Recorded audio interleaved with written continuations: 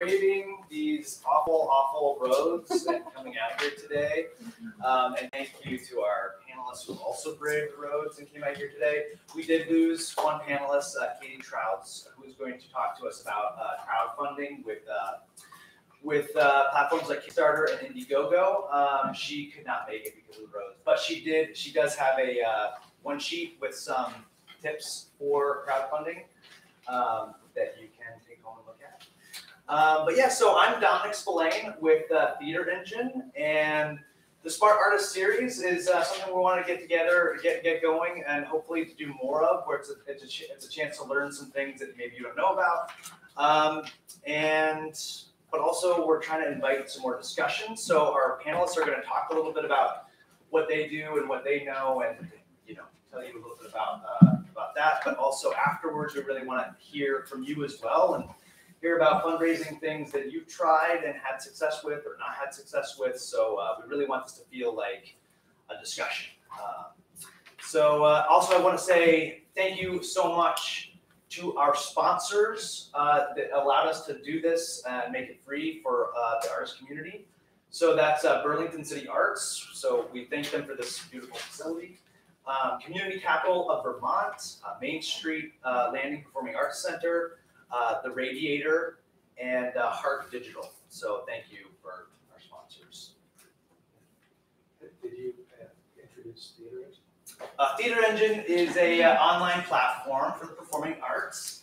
Um, so we're just trying to make it more accessible for uh, for people to find out about you know theater events that are going on around you. And uh, we're still building and beta testing, but we've got some stuff up there right now. So check it out. Um, I'm Jim Lockridge from Big Heavy World.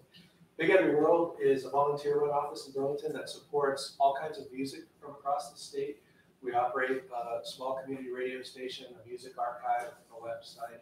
If you're a musician, uh, I'd love to connect with you before you split tonight. Invite you onto our local music radio show Wednesday nights called Rocket Shop. Check out bigheavyworld.com to stream the station or see what's going on. Um, what you're being a part of now is a, a collaborative effort between Dominic and Hannah and Big Heavy World, um, bringing theater and dance and music together as a community um, for these kinds of conversations that are meant to help us all help ourselves as an arts community, as a creative community. So, um, you know, I, I, I hope you feel very warmly welcome into the Q and A following the panelists and, and bringing some of your experience into the conversation later on. Um, super important. Hear me say, at the end of this, we're going around the corner and hanging out at a bar.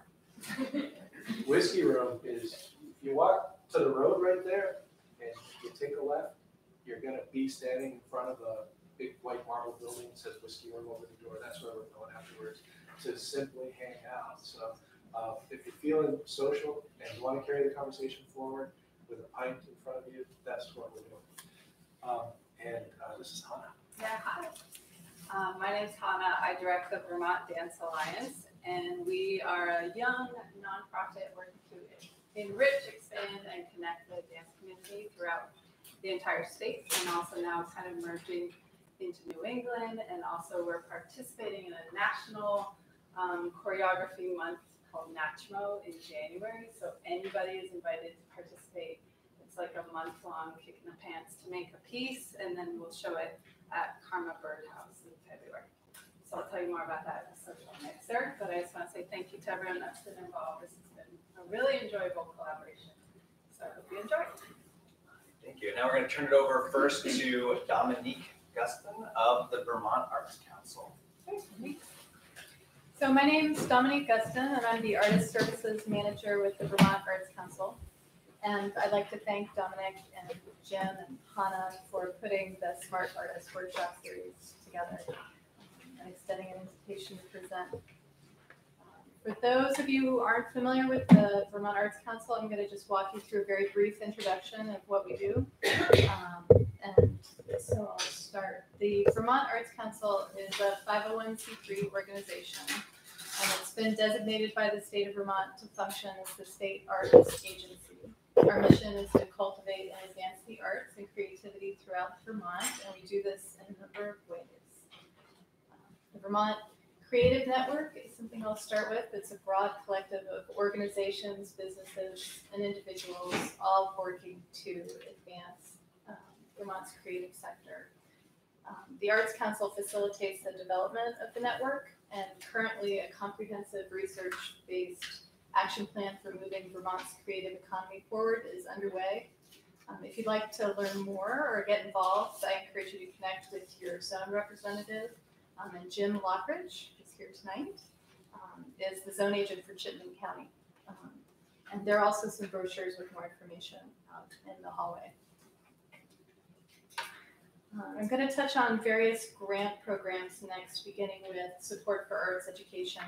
Um, Our programs include a teaching artist roster. Um, Artists on the council's roster are professionals with extensive experience in education and are eligible to lead residencies supported by our Artist in Schools grants. Uh, The deadline applying for the teaching artist roster is March 29th. It happens once a year. And criteria include artistic excellence, teaching ability, and collaborative planning skills. The council's Artists in Schools grants provide funding to schools to hire and collaborate with artists in the classroom. Head Start residencies support arts integrated experiences for early education students and teachers in Head Start classrooms and Poetry Out Loud um, is uh, a national competition for high school students. Um, and if you'd like more information, um, Troy Hickman is our education program manager, and he'd be happy to talk more with you about those programs. We also support public art and placemaking projects through cultural facilities grants. These are intended to enhance, create, or expand the capacity of an existing building to provide cultural activities for the public. The deadline for that is May first. Um, art and state buildings, this program is administered by the Vermont Arts Council in partnership with the Department of Buildings and General Services. And it's dedicated to enhancing working environments by improving the character and quality of state-owned buildings and public spaces.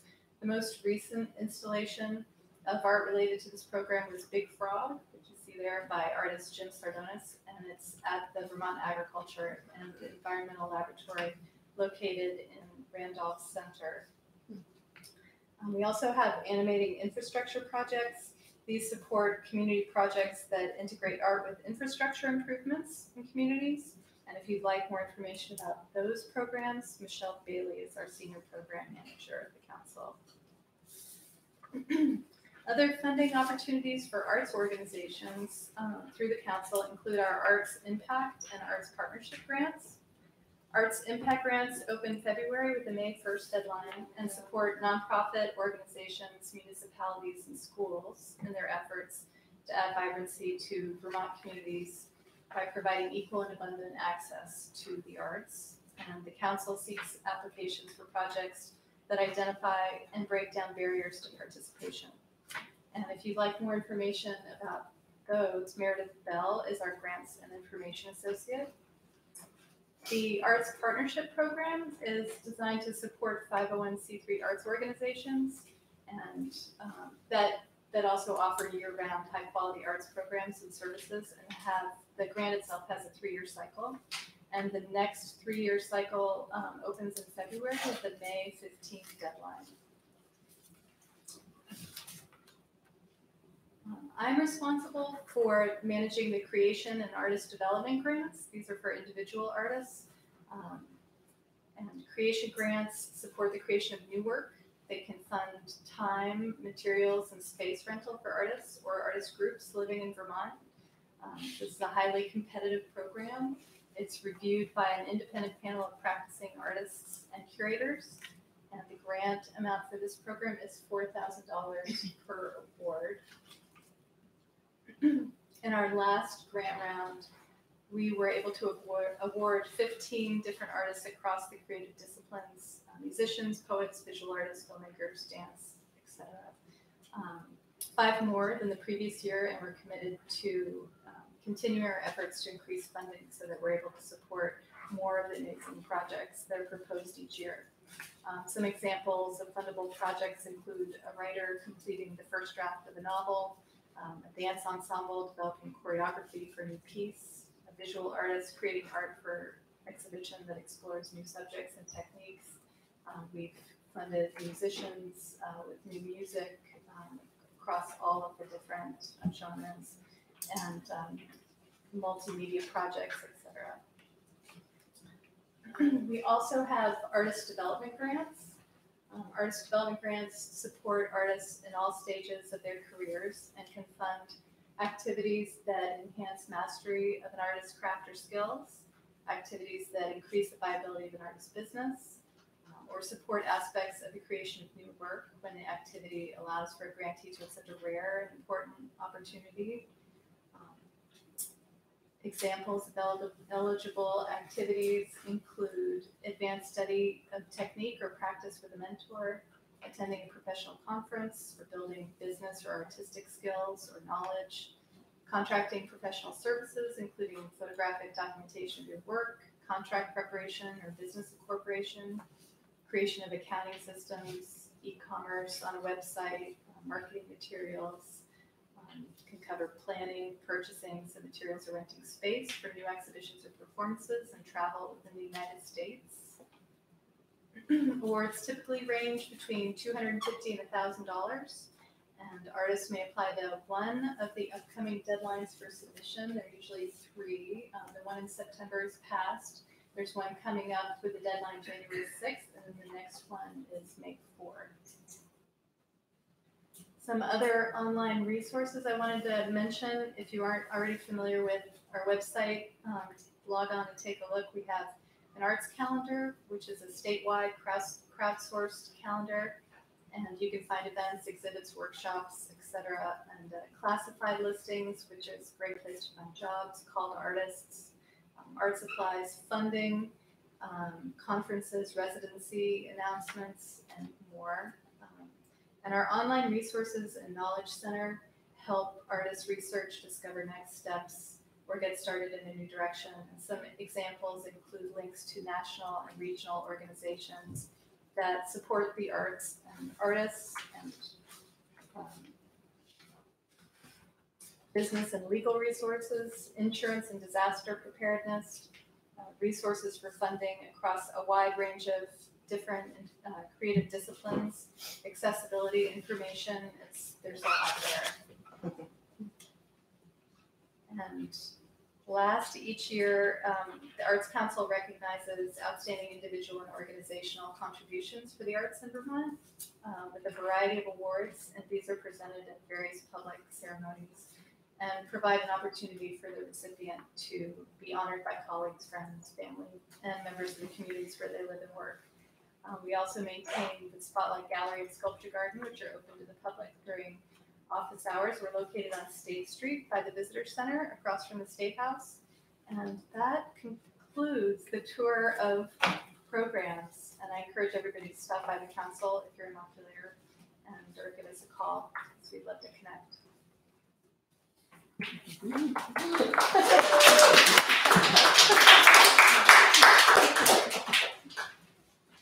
And then how do we get out of here? So that- Oh, you want to scatter? That's it? I mean, it's pretty good.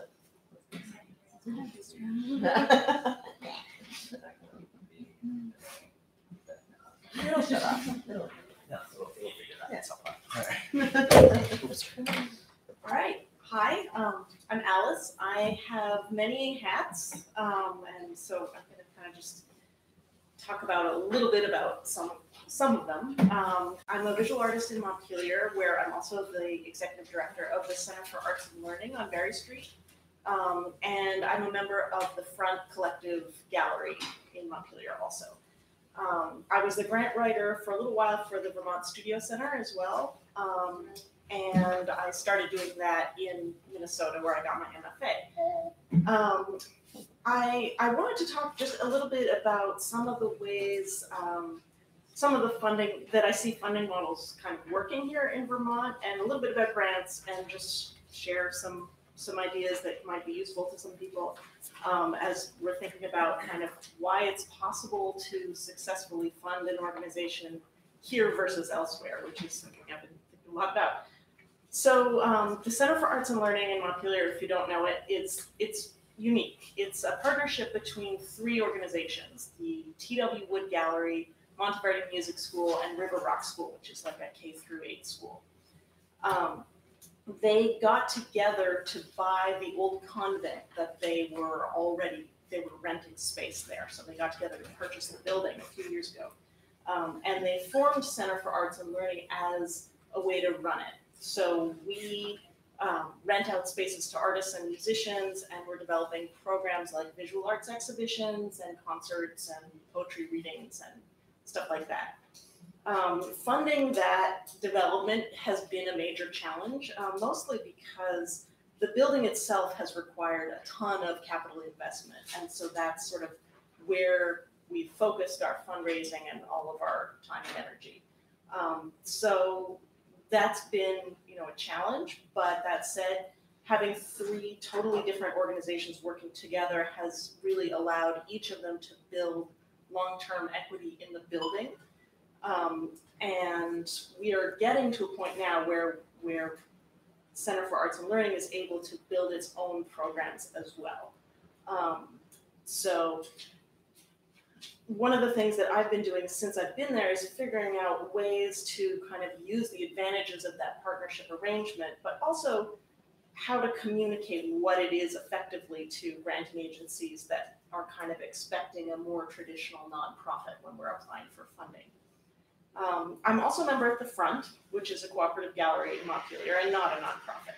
Um, we're collectively owned by the members, so everyone chips in money to cover rent and utilities and um, time to cover staffing. It's a really simple model, but so far it's actually seemed to work. We've been around for about five years. Um, and the thing that I've noticed in that time is just how much more Montpelier's art scene has grown and how vibrant it's becoming. Um, maybe that's total coincidence, I don't know. But um, a lot of the artists from the front end up showing in local businesses and we're doing more art walks and there's more business participation in them generally. Um, and I've also noticed that the quality of our work is all improving because we're able to bounce ideas off of each other. We're getting, you know, every time we do a call for new members, we're getting more and better applications. So that's really exciting. Um, and I think that the thing that I like most about it is that the model ultimately contributes a lot to the ecosystem of the whole area, but it's not a tremendous amount of investment from each member of the gallery. Um, one thing that I sort of want to talk about that's, I guess, a little bit broader than grants, but grants is part of it, is just what I've noticed about Vermont's funding landscape as opposed to Minnesota, where I started out writing grants. I moved there to get my MFA and ended up working for a nonprofit visual art space um, called Midway Contemporary Art. They have a gallery and a contemporary art library, and they're known for sometimes what can be intense and elaborate installations, kind of like what you'd see in a high end commercial gallery in New York. Um, all of the programming is free. So, since moving back to Vermont and working here, I've kind of wondered, you know, what goes into something like Midway being able to sustain itself for going on 20 years now. Um, their model is kind of like a European Kunsthalle, you know that is. It's a, it's those are generally state-funded exhibition spaces that really allow the artist to totally explore an idea and present a, a full vision.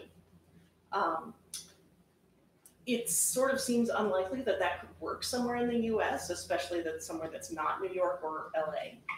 Um, but Midway was one of several spaces that started in the Twin Cities in the early 2000s. And I've been thinking a lot about you know, what contributed to the climate there that really made that work. Um, one thing is that Minneapolis has a really strong creative economy that leads to supportive, engaged board members and really great donors. Um, there's, you know, there's Target, there's the Walker Art Center and the Guthrie Theater that are really established and there's a lot of people that I think see themselves as part of that creative economy and, and for whom the arts are a really big influence, but they might not be able to quite participate on the level that's required to be a board member at the Walker Art Center. So they are willing to say, you know, I can make a contribution that's like a thousand dollars or even ten thousand dollars to make, you know, a really great exhibition happen at a smaller space or make a theater production happen. Um, And, and there's, you know, more than just a handful of people who can do that. So that's, that's one factor.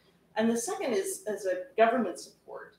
Uh, In two thousand eight, artists and organizers teamed up with other groups to pass the um, Clean Water Land and Legacy Amendment, which is a constitutional amendment to the state constitution that guarantees arts funding as well as clean water and environmental restoration, um, parks funding and recreation funding. So it was this, it was this interesting collaboration between artists and a lot of people in the like hunting and recreation community.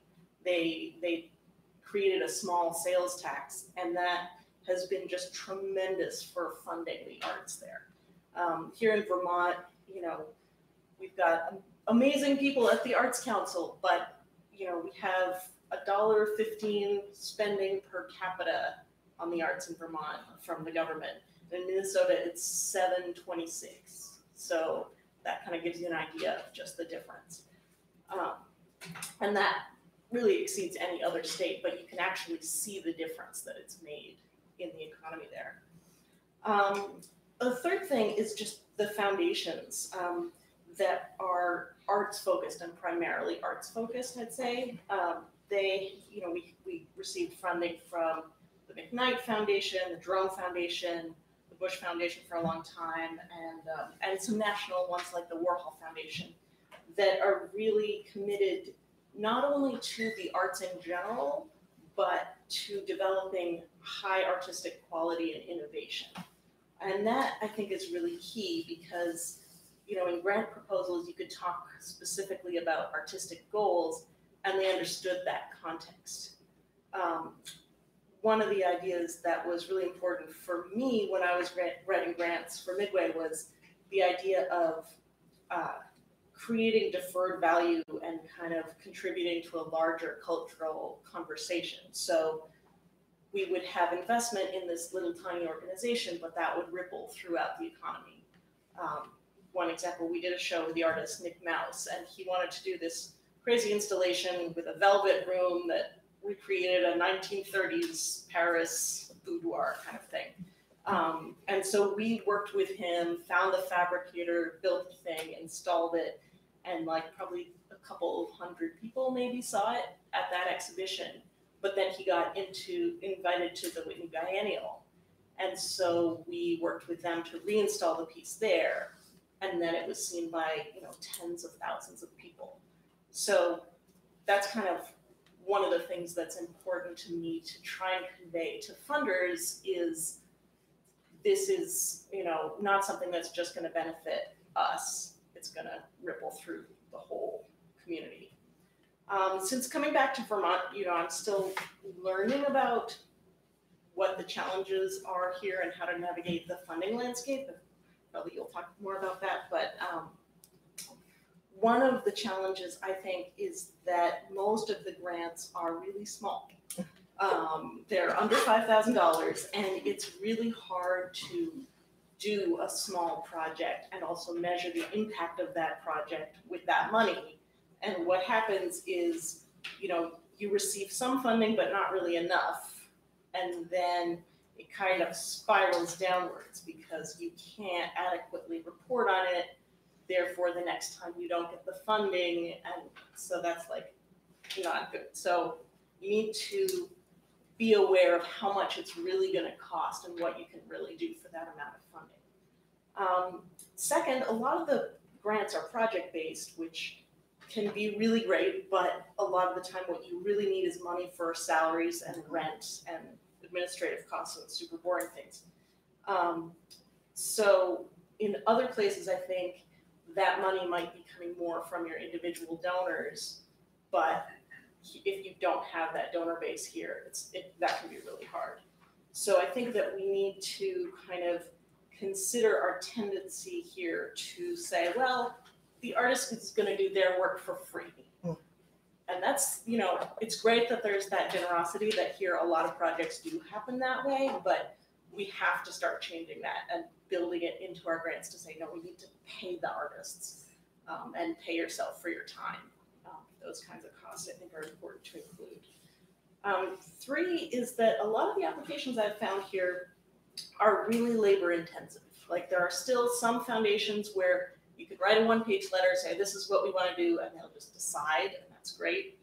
Um, but you know there has been this trend towards accountability through statistics and metrics, which I think is not bad. I mean, it's coming from social services and it makes a lot of sense for them to want to know, you know, who you're serving, what their income level is, what your impact is. But a lot of those things are just really not what you need to be measuring in the arts. A lot of our impact can't really be measured that way. It's much more qualitative, much more diffuse. Um, and sometimes the format of the application can kind of, you know, cut down on your ability to tell your story. Um, so I think it's it's really important to be clear where you can in your narrative about what you're doing, so that you can show them, you know, what the vision for the project is, and not necessarily have to rely so much on their statistics to show that and tell that story for you. Um, you know, foundations are also trying to save on costs, so a lot of the time they'll make standardized applications that are used across different foundations, like common software, that kind of thing for submitting grants. Um, which is good because it means sometimes you can apply to more than one thing at once or use basically the same format. Um, but it also means that sometimes you end up not really being able to articulate what you're doing in a clear way because the form is kind of you know keeping you from doing that. Um, I think the thing that I found most about that that's helpful is to just call the program officer if you can, talk to them, see what it is that they're really looking for, what what piece of information it is that is important to them, because it's not always clear from applications. Um, I think we're just at a really interesting point where we're beginning to build some networks of smaller organizations here. And hopefully we're gonna be able to kind of shape how the arts funding will work here. I think there's going to be a push for more alternative models and hopefully a push for more public support. Um, because I think we could become a place like Minnesota where there's just a lot more support for the arts that ends up reinvesting in the community and ends up bringing up the quality of what's being produced so that people can really make a living at it, you know, so that it's sustainable long term. Preach. Seriously, I'm sorry. I'm gonna I'm gonna jump in because I also lived in Minnesota for a long time, and I gotta say the legacy amendment is like the best thing to have happened to the arts, historic preservation was the other piece, and then um, the the outdoors and, and water. Um, and it, it anyway. So if we if there's anything that we could all do as artists and people who run arts organizations, and that is to somehow like advocate for that kind of commitment on the state level for people to really say yes we believe in these things this is a value that we hold to our hearts having arts and the culture and historic preservation and the outdoors and it's worth it for us to pay the one it's like point It's like- one percent Yeah, it's so it's little like three eighths Yeah. percent. um, but it makes such a huge difference and it allows small arts, or, small arts organizations and individual artists to thrive there. Go to Minnesota. Bananas. Yeah, woo, yeah. So I'm completely different uh, here. I'm Abby Solomon. I'm from Community Capital of uh, Vermont. So we are a nonprofit, um, non-traditional lender in the state. Um, we do micro lending, so our loans are thousand to a hundred thousand. Right now, we're averaging around uh, twenty-five thousand is our average loan.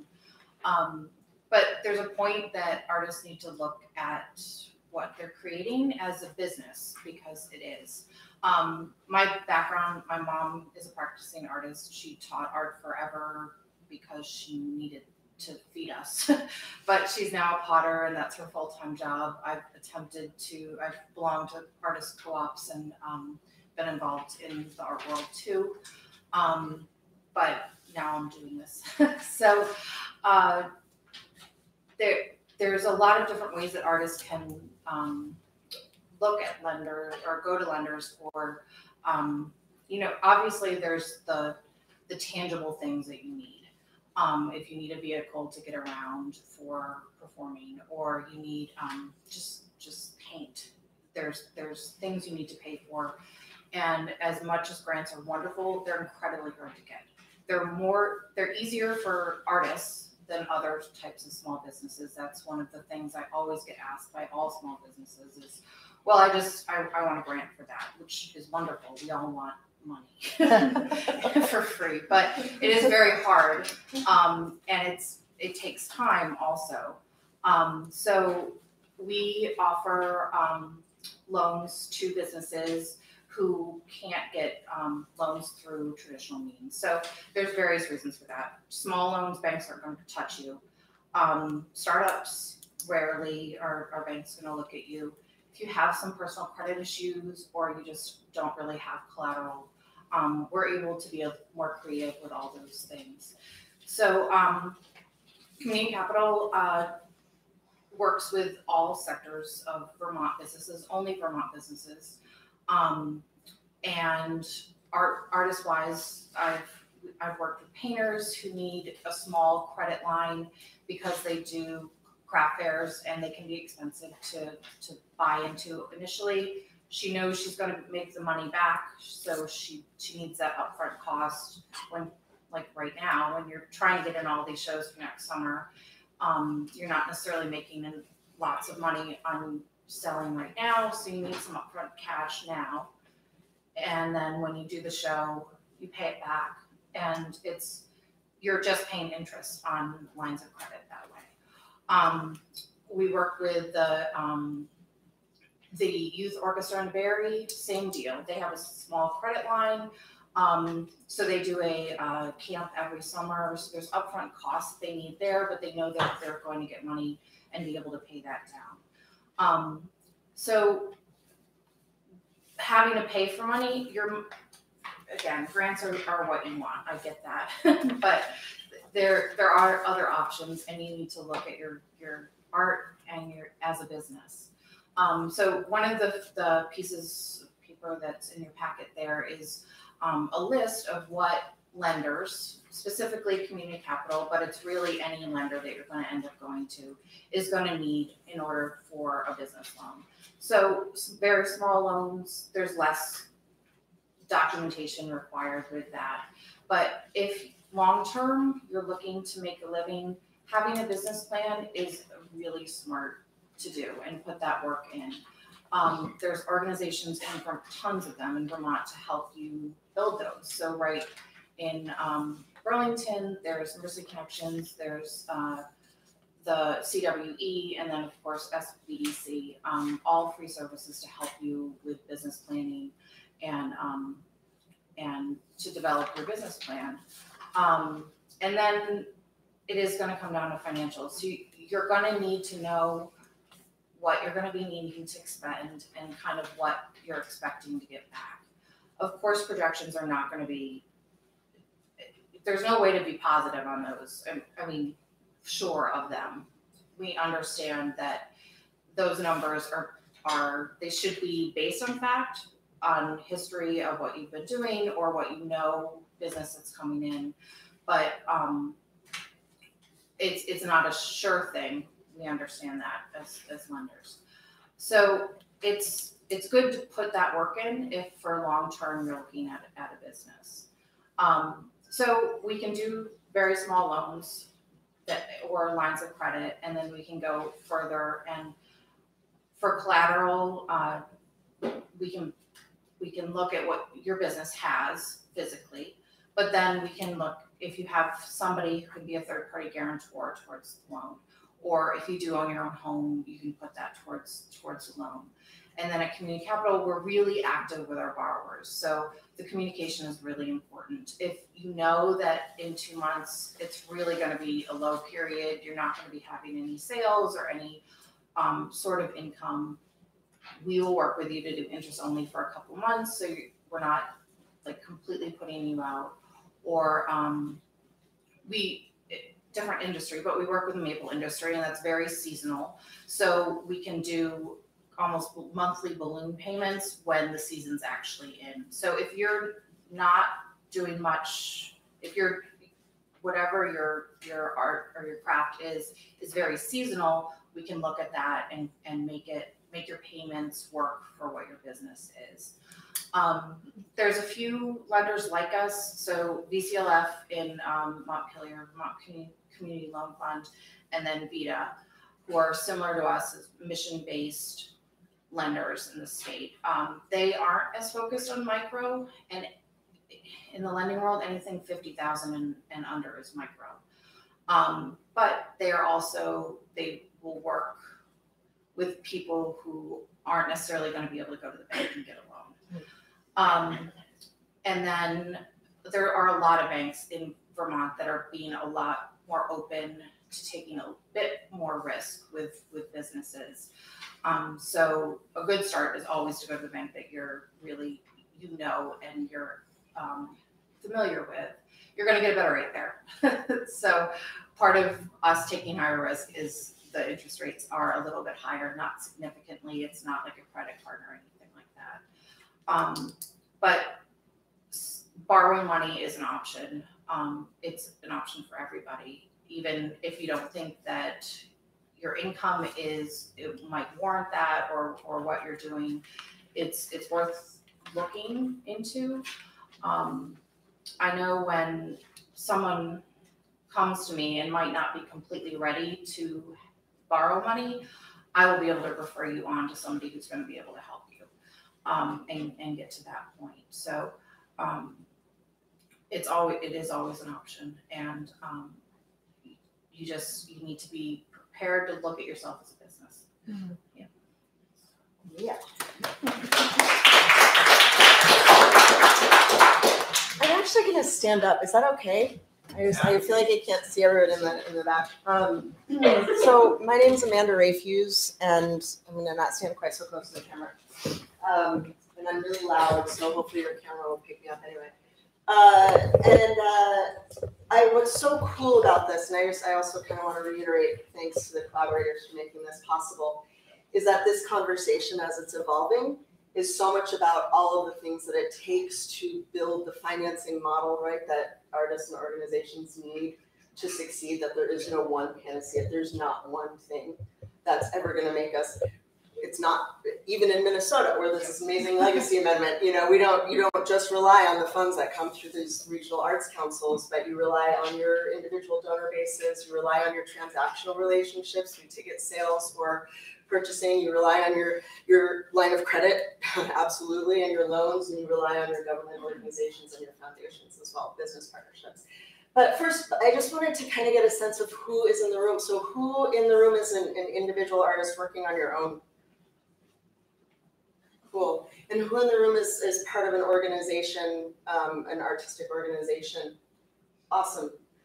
So that's the other piece that's really interesting, isn't it? Is that there's there's there's a pretty significant, um, or you could imagine that there might be a really significant difference between how an organization develops their financing plan versus how an individual artist. So I'm just curious, you know, I just kind of want to make a mental note about that because that's I really only want to take a couple of minutes so that we can talk more. Um, but just so you guys know, I'm I'm both. I'm an, I'm a freelance director and producer and actor, and I also have worked with big organizations and small organizations. Um, and it says on your little bio sheets that I'm a fundraising and community engagement. I would like you all to cross out the word fundraising because it is not in my vocabulary at all.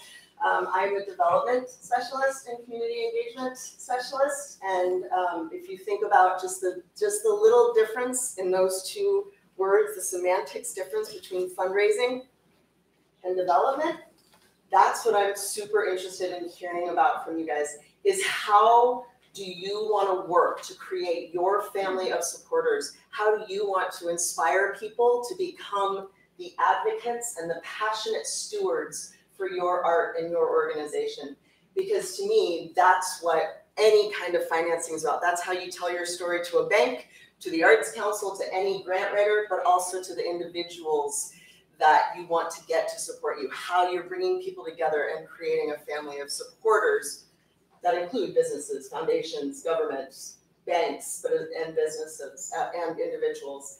Um, so with that in mind, I um, I'm, I'm just I just love to do a little brain game. If you guys don't mind, um, if you wouldn't mind, for yourselves, keep your arts organization and your and your um, your individual art work out of your mind. And if you don't mind, just for a second, closing your eyes, and I'm going to ask a silly question, and I just ask you not to think too much about it but to just um, take five seconds or 20 seconds to think for a second, and then if you have a pen and a piece of paper to jot it down. But think about the question if I were a piece of music, what would I be? It doesn't have to be a piece of music, it could be a type of music, but if I were a piece of music, what would I be?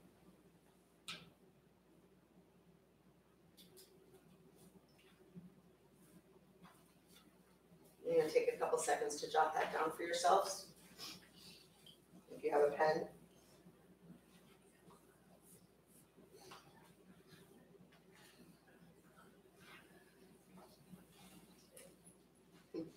So does anyone have one that they would be willing to, to share? Yeah. I just thought like a song that gets people up and dancing.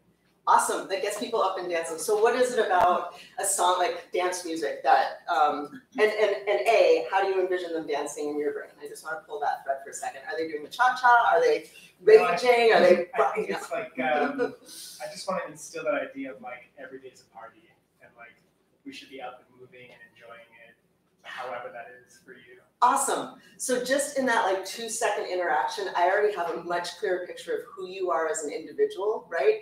And I understand, like I'm starting to get a little bit to like your personal mission in life. And we all talk about as organizations and as art, particularly organizations, and especially when it comes to grant writing, we have this idea of missions, right? But I actually really firmly believe in the idea of a personal mission of what we do in the world and how we're impacting the world and why we're it's why we're artists right? Is because we actually have this clear idea of i want to do something that then has this ripple effect that goes out into the community in some way and changes the world. That's what we're all doing at our cores right? Um, so you know for you to be able to say i really want to energize people and get them moving and get them engaged in the world in a different way like i get so much clearer immediately who you are and what you want to do as a personal mission. So that's one of the things that I start to think about when I'm thinking about personal storytelling. And as I'm starting to think about strategies for organizations or for individual artists for how they can start to gather people together, how do you start to tell your story? And I really believe that that starts with you as the person. That I can clearly walk into a room like this and say, what I really believe in is making sure that I can gather a group of people together as we are right now, that we can figure out what, what needs to happen, and that I can start to remove all the obstacles to success, whether I'm working with an organization or producing a play or directing. That's what I that's my personal mission. I want to get all of the obstacles to success out of people's way so that they can do their best work and be their best selves. And then that ripple effect goes out into the world. So even with a simple question like what piece of music are you, if you can start to then identify, yeah, that that is me, and now I can effectively communicate that. And then if you can start to do that for your work, this is what I'm doing with my work. And my my work is, I had a friend the other night. I asked that question too because I was thinking about this, and he was like, "Oh, I'm shake, rattle, and roll by the, I don't know who it is. That's I don't know if somebody can tell me who that is." By the Ronells or something, something like that. And he was like, yeah, because I want to shake people up, I want to rattle their preconceptions, and then I want to roll with them into some different way of thinking about the world. It was like, man, I now I already want to invest in whatever it is that you're doing. So storytelling is such a cool, is such a is such an important piece of this financing model that we're all talking about. You don't get to even have any of these conversations until you have a clear understanding of what it is that you're doing and why you want to do it in the world. With that being said, to me, what the most important piece of financing for both artists and organizations ultimately is going to come down to the individuals that you get to be your patrons in the true sense of the world word that are the people who are so ignited by your mission and your art that they want to give of their resources, whether that's money, the stuff in their garage, their wisdom, their time, their volunteerism, their energy, or their talent if you need to put on a play or that kind of thing. Um, so the only way to do that is by engaging people, right? You can't just go to somebody, ask them for money, and then walk away. You have to bring them in, help them to understand what it is you're doing, why you're doing it, and then engage them in the process of what you're doing. And I think that's something that we forget as artists. We forget how to show people how the sausage is made, and that ultimately they're super interested in it. And it's what makes them want to continue to invest and not just give a one time go away gift, right? The more that you're able to bring people in and engage them in whatever way it is, you know, do you have a, a conversation over coffee and explain your process? Or do you bring them to a rehearsal and let them sit in and watch and talk to the director and the actors? Or do you, but how are you helping them to have a deeper understanding of the value of the work that you are creating in the world? So that then they want to say, yeah, you, I'm giving to you because I believe in what you're doing and I believe in the power of my support to allow you to get the obstacles out of the way to do your best work. People want, they want to support good things happening in the world. They really do. I truly believe that. Philanthropy is a, a spiritual thing. And the more we can be the solution to someone's desire, rather than feeling like a beggar, rather than operating from a scarcity mentality, operating from an idea of like, no, we're all doing this together to make the world a better place, the further we get. And the more people give, the more they want to give. So when someone says to me, oh, you know, you're working for that organization, will they take all the donors? I'm like, bull, baloney. We are cultivating donors for every other organization out there because when people start to give to us and see the value of this organization in their lives, they're so much more likely to go, you know what, I'm gonna go check out that dance piece or that other theater piece or that, we're cultivating philanthropists, we're cultivating arts lovers. So getting rid of the idea that we're in competition with each other, that's sort of the other big piece that I just wanna like remove from the equation. So my three big things, don't talk about fundraising, talk about development and engagement and how you're bringing people in um, know your story first, why you do what you do, what kind of music are you, or race car, or piece of food, or whatever it is that kind of gets you to say, yeah, okay, I know what I'm, I'm trying to say, and your organizations. Be able to tell your story because your ultimate goal is to ignite the passion in others, whether it's a business or a foundation, an individual, or a government entity, or a, or a bank. And then get rid of the idea, and I don't think it happens very much in Vermont, I really don't, but get rid of the idea that we're operating in a scarce environment because we're not. We're not. And when people talk about recessions, not your problem. Don't worry about it. Keep doing your art, keep telling your story, and keep on getting people to engage it because in times of hopelessness, it's what they need most is your work. So those are kind of the big things, right? Yeah, preach. Um, so so I, I guess I just wanted to I just want I wanted to kind of throw those things out there and then be able to kick out into the broader conversation because I think Dom, that's sort of what you guys were really most interested in is like how then with these ideas of financing your vision, your dream, um, you know, what specifics do you have questions about, or what are the kind of, or do you, does anybody else want to share what piece of music they are? Maybe we should start that. are you guys going to kind of curate this conversation, or what are you are you thinking? Yeah, I was thinking. Dom's like, I'm thinking I have a beer sitting on this table. Like, I'm taking these chairs over. Uh, Thank you, thank you so much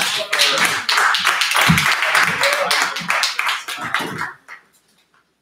Yeah, well, does anybody have any questions to start out? I have a lot of questions. this is I have to say too that the reason I'm here is because Dom and I have been friends for a few years, and this is like when we sit down for coffee. You just said this tonight. You know, we'll sit down, have a cup of coffee, and everyone's like, two hours is never enough. You know, sort of so like to be able to sit down and, and hear from more people right now. That is really cool. It's exciting. Is anybody looking for, oh, you have a question?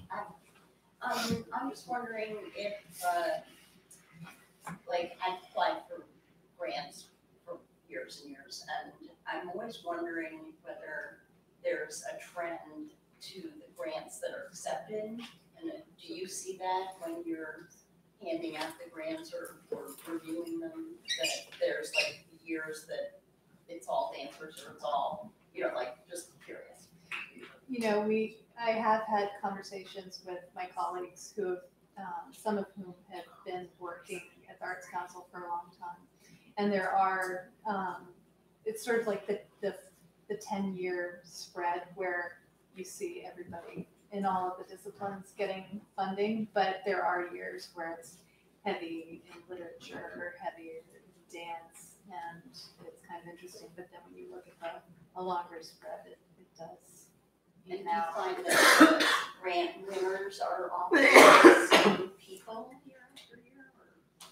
Um, there are some people who have um, received certain awards multiple times, um, but we we have um, some guidelines for like the creation grant, for example, is if you receive one, you aren't able to apply for three years, so that other people can kind of rise to the the top.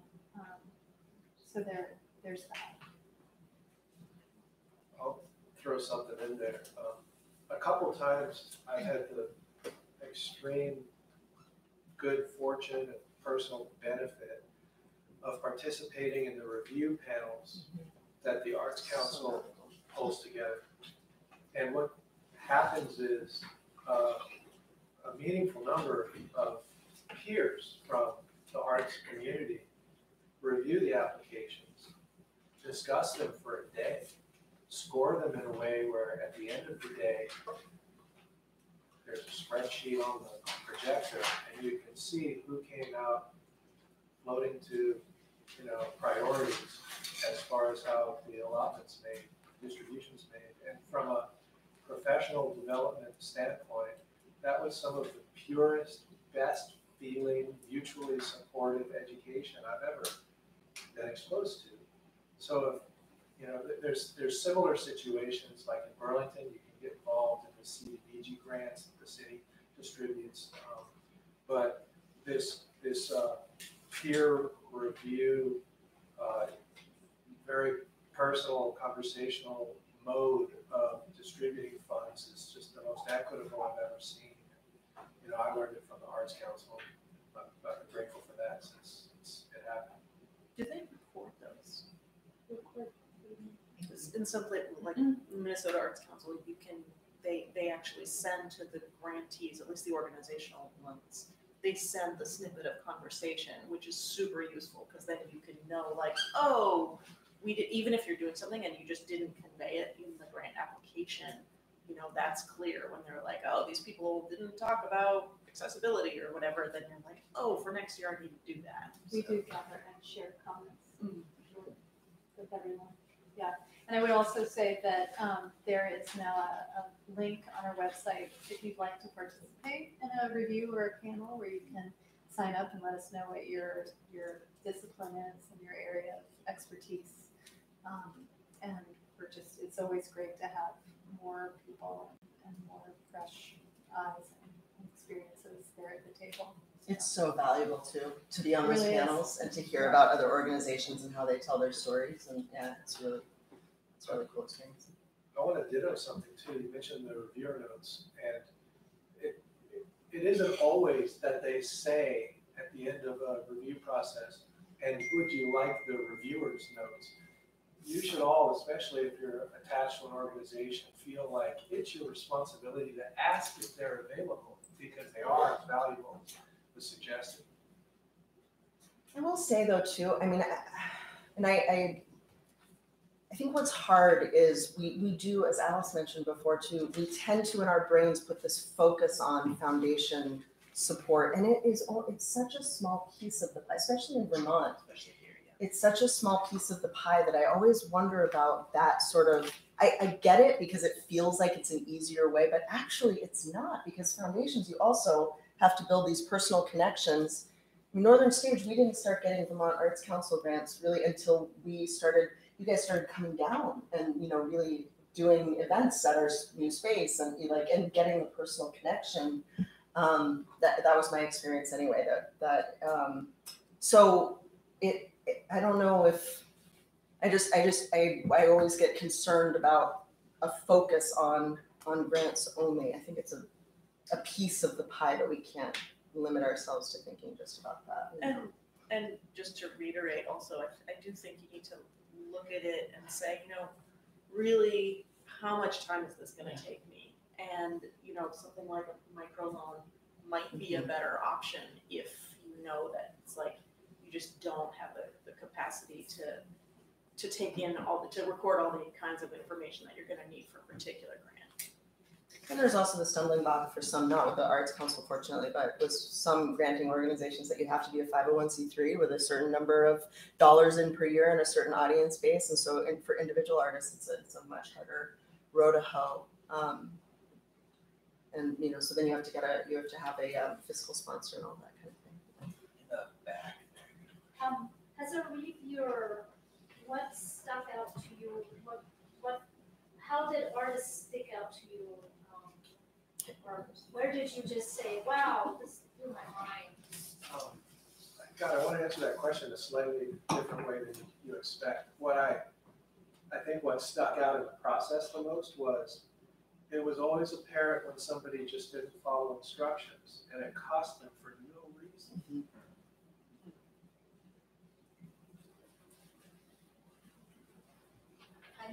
I'd love to hear a little bit more about the pie.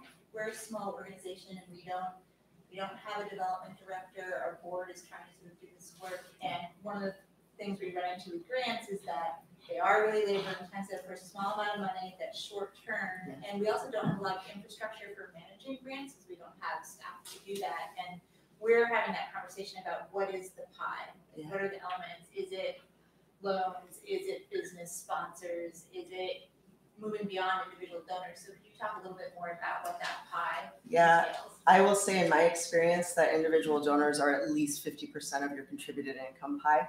Of your, actually, yeah, of your contributed income pie in general at organizations. And that leaves, you know, the other, the other pieces for businesses and then for, for grants. I will say, again, in Vermont, it is, it is really hard. Grants, it's not a, and, and especially because I exclude family foundations from that, the people that you can just write a letter. When I think of grants, I think of you have to fill out the application and you have to report. That's sort of my, you know, frame reference for it. Because there are some lovely family foundations, fortunately, that you can just be like, hey, Judy, you know, and it's you treat them more like an individual donor. Um, but yeah, fifty percent, and then I I don't in terms of the overall financing of an organization. That's where things like microloans and then your your other forms of income, you know, your your transactional relationships or your earned income, whether that's rentals or sales or whatever that is. But a healthy organization in general, you want to have about fifty percent of your overall income from contributed sources. Um, and to me, I wish we would go to sixty-five percent because when we start to think about the transactional relationships, and maybe I'm thinking specifically about theater, um, those those can be one time those transactional interactions versus cultivating a stewardship and loyalty based relationship that really is going to be a long term pipeline um, for stability and thrive for a thriving organization. That's going to come from uh, your contributed sources. It just is. Also, business, I mean, we Oh, businesses, we haven't totally. really talked about that much, but even, you know, everything from, you know, like the price chopper might give you three hundred bucks.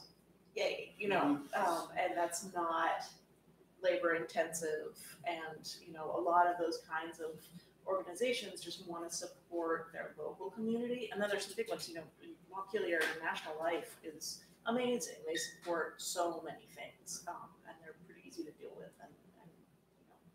So I wouldn't discount that either. Oh yeah, no, that's huge, and that's that's and that again, I always think that also goes to how you. That's much closer to an, especially in a place like this, to an individual relationship because it is so much about you know we're not we're not talking Target where you're going and talking to their corporate marketing director. Um, but the the thanks that you might give will be different for a business because they are looking at it as marketing in a little bit more. But um, you also said something else too, but now I blanked. Sorry. I wanted to kind of piggyback off of that in the in the sense I see I see a lot of organizations where they hit that threshold. They've got a great track record as an organization. They they do have a good uh, audience, um, and they they need a dedicated person, a development person to do the work to get that that uh, to get that donor base. And it's kind of a question of the whole panel because it's like the chicken or the egg, you know, because you can't can't materialize the money to get the person who will get you the money, you know. Um, and so you know, where is that a possible loan situation? I mean, like, how do you how do you find them the money to to to hire a person that can go and get you more money? I mean, a skilled person, a development Yeah. person with that And, background. and, and honestly, it's that, that's an expensive position, you know, a skilled But they're worth it because they'll pay. they- They will. They'll pay themselves. Invest you know, in it, But totally. how do you how do you turn that corner? one rule of thumb that doesn't help with the cost really, um, that I've heard in the past is one, if you hire a development person, also hire a program person. Because people wanna talk to somebody who knows about the art. You know, they, they wanna talk to somebody, like, that's why they're interested in the organization. So if you have somebody who's, who's coming at it more from just a financial kind of perspective and they're not really in the culture of that organization and they don't really know what it is that you're doing artistically, then it can, it can work badly. I would, I would counter that by saying, don't hire a development director that isn't engaged in the art. Right, exactly. Yeah. Yeah. Yeah. Um, but it, you know, you're right, Dom, that you, there are really good capacity building grants out there. Um, and there are people who will give to not, not just the programs, but understand that the infrastructure of an organization is what makes the programmatic output possible. So there are individuals that will do that as well. So it's a matter of stating your priority, of saying, we know we need this person to, to really bring our organization to the next level and we're going to invest, our board is going to invest, and that's our next best hire. So how do we make that hire happen and then determining that with the staff? But I would bet microloans would be a place too, or loans. You can get working capital loans, um, but it needs to be very focused as to why you're gonna need it. So if it is for a payroll, um, on, on my perspective, when I'm looking at an application, um, I need to know that that working capital is going to be able to, um, increase your revenue enough to be able to, to warrant having that loan, um, payment back. So we don't wanna extend you money that, you- that is just gonna uh, be a Band-Aid or eventually is just gonna fold you.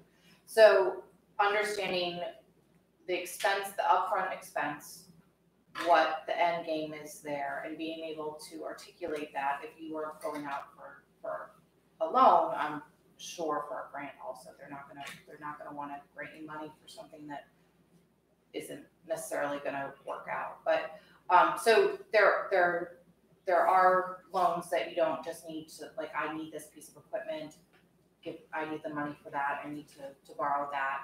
You can get working capital loans, and you can get pieces, so it could be, you do need this piece of equipment, but you also need working capital towards uh, some sort of salary.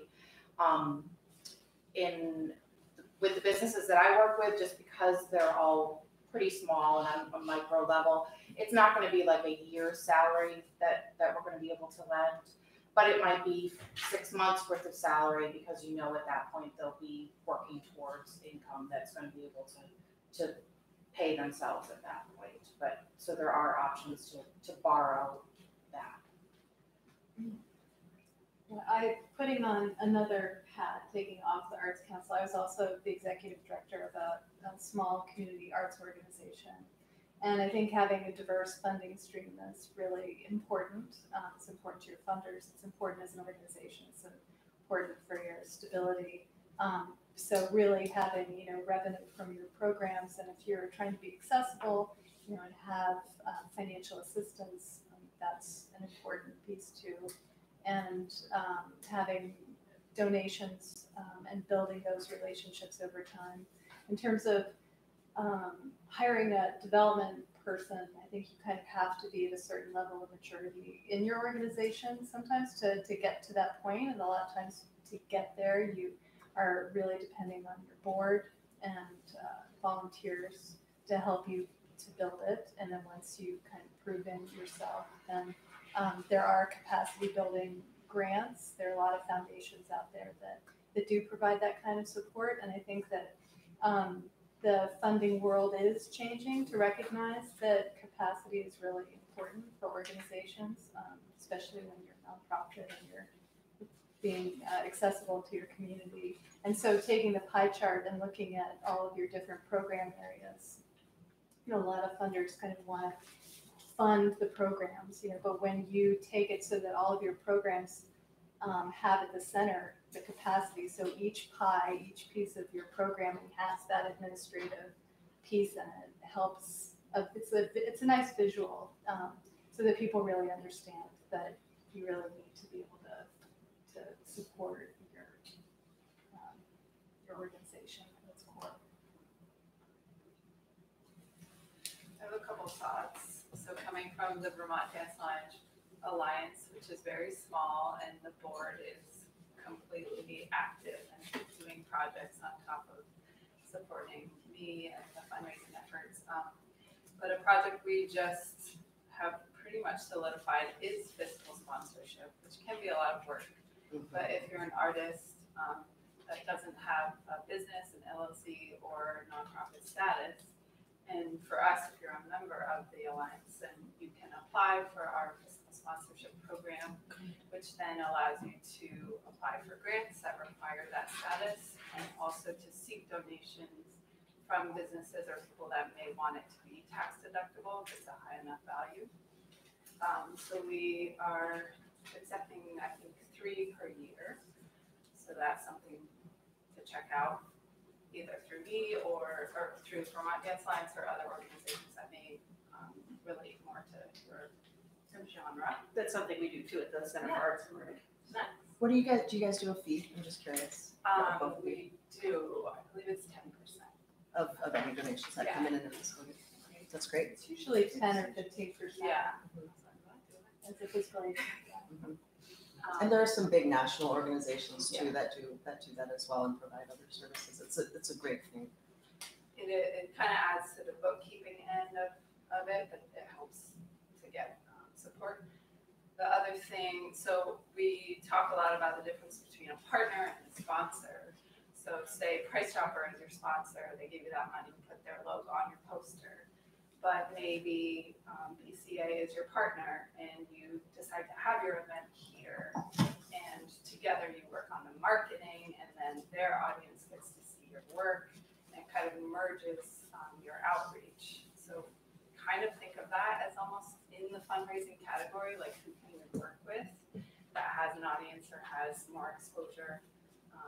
Engagement, in the engagement category, sorry. Yeah, exactly. Right, well, it, it is, I was going to also point out that partnerships are really great. Um, and I think that a lot of artists don't consider necessarily the partnerships that they can form. So the Arts Council has, um, a number of grants that are for, um, more community engagement. And so they're really looking for a partnership there a lot of times. But if you're an artist and you have a great idea for a public sculpture or, you know, some project that you'd like to do with the community, you can go to your local arts organization, or library, or municipality, or you know whatever seems to fit, and you know pitch your idea and create a collaboration and a partnership.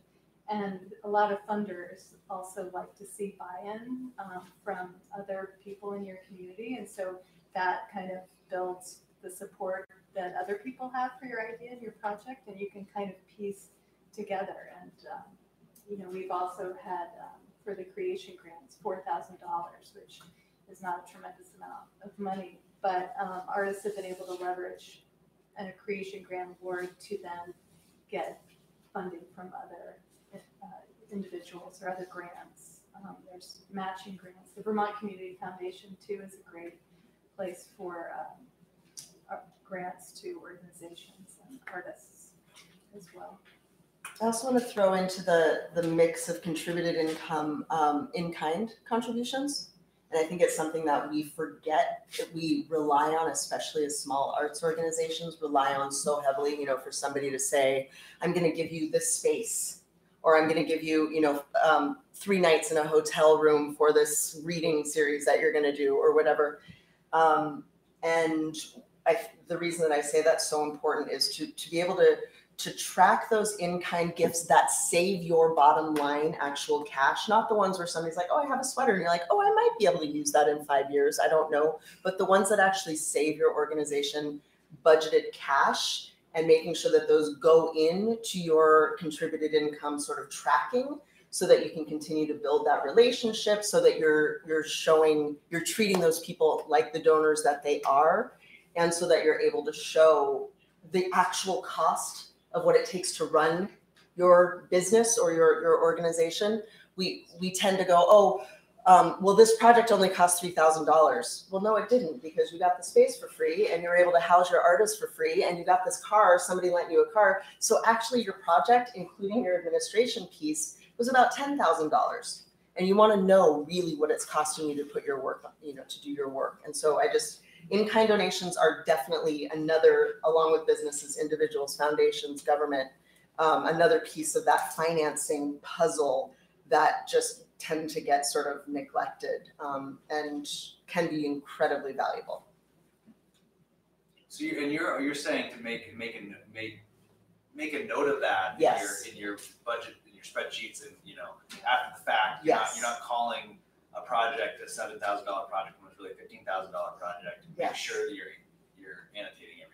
Exactly. If you said, "Hey, I'll build your website for this thing," I would be like, "Man, that's a three thousand dollar cash savings to my budget." You know, which would you do that? And that makes you better as an organization too, organization too in many ways, right? When you're trying to get those individual donors, you're saying, you're saying, look, we're really good at saving our bottom line, so the money, the cash money you get us will really be, stewarded. Yeah. is really, is really well maintained because Yeah. we're also doing all these other things. And what it does too is it provides a lot of people who might not ordinarily be able to be donors to donate because they say, "Oh God, I don't have enough money, but I have this extra bedroom." Is that useful to you, or you know, or one of the programs we set up at um, Northern Stage that has been a huge cost saving uh, is a dining and lodging program where restaurants give us, you know, five hundred thousand or five hundred thousand, five hundred to a thousand dollars. They're treated as a sponsor, like we do with our business sponsors. Um, and then we use those. We, we take our cast out to dinner, or we, you know, we take donors out to dinner. It's been an incredibly valuable tool for both our production and our administration side.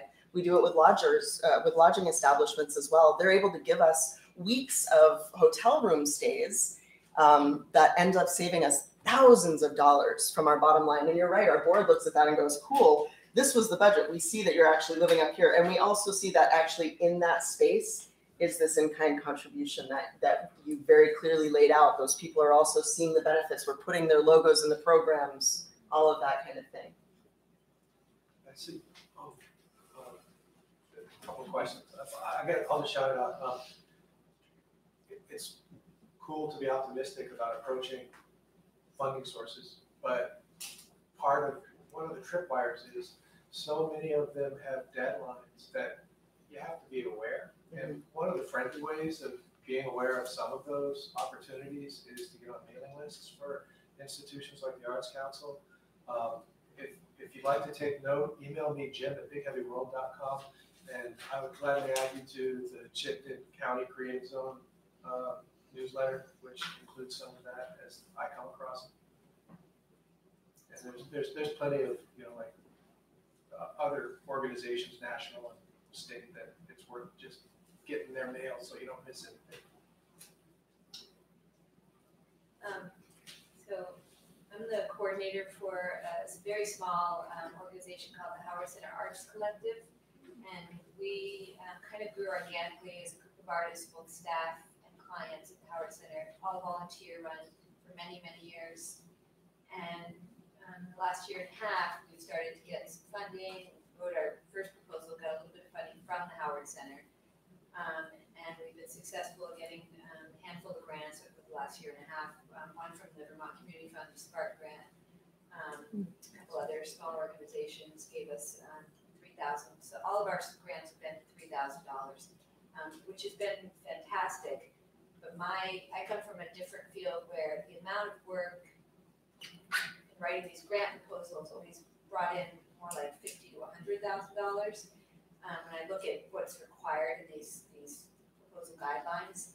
Um, and I'm not paid to write grants, I'm coordinator of the program, so, um, I generally am doing that in my spare time, my volunteer time. Um, so I guess my question is, uh, someone, I think someone up there already said that there- there tends to be very small grants in the state of Vermont, usually under five thousand.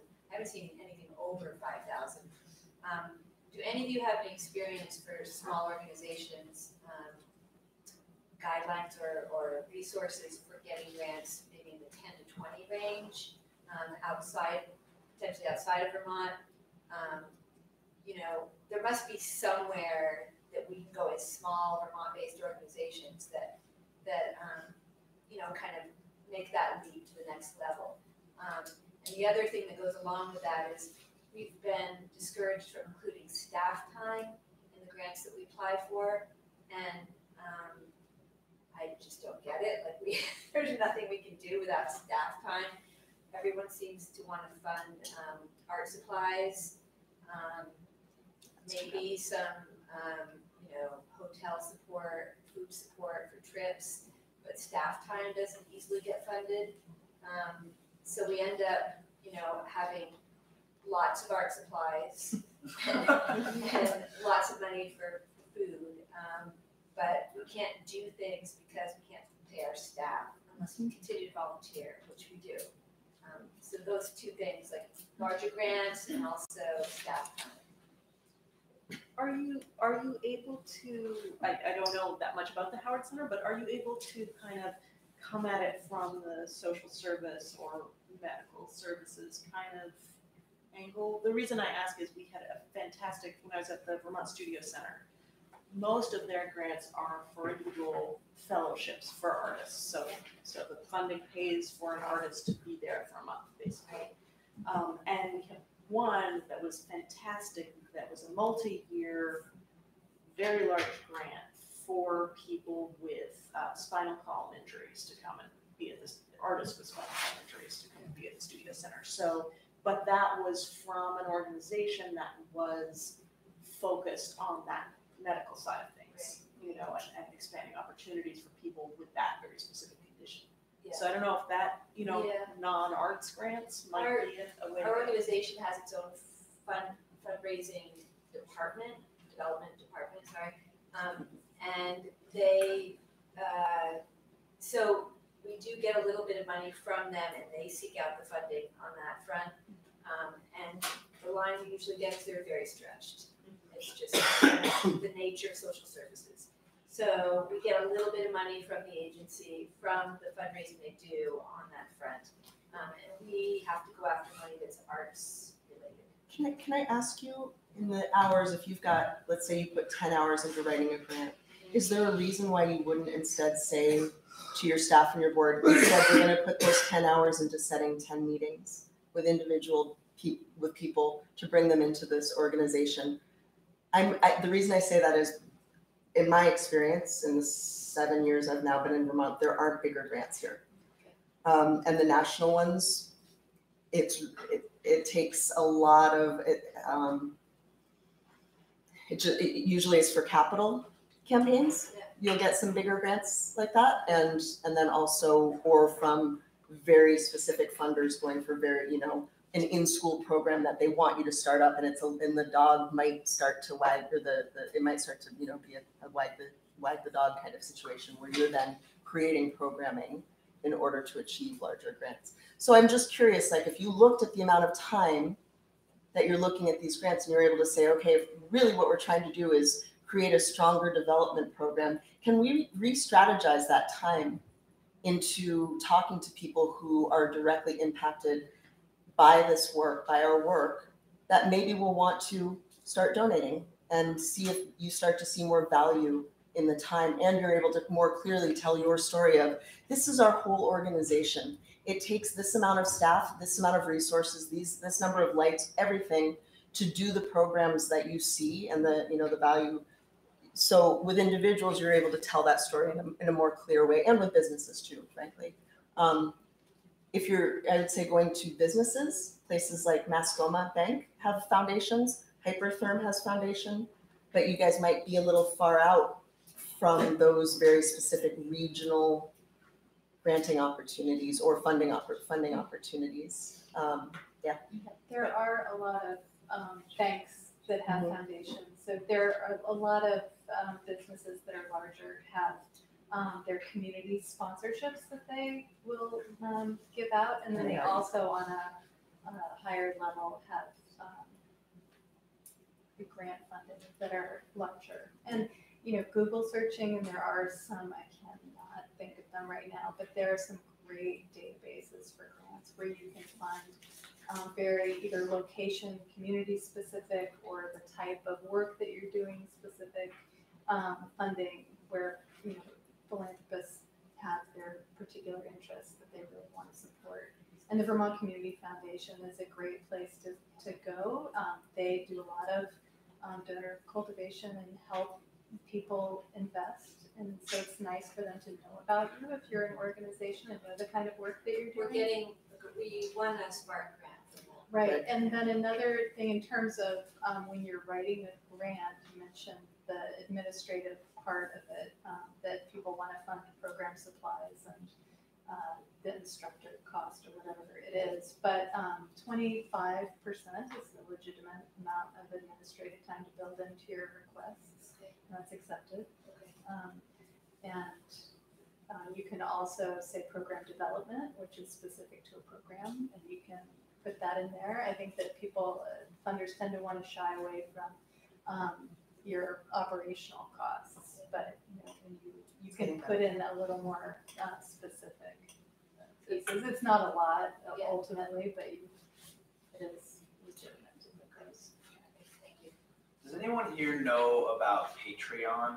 Mhm. Can you tell us a little bit about that?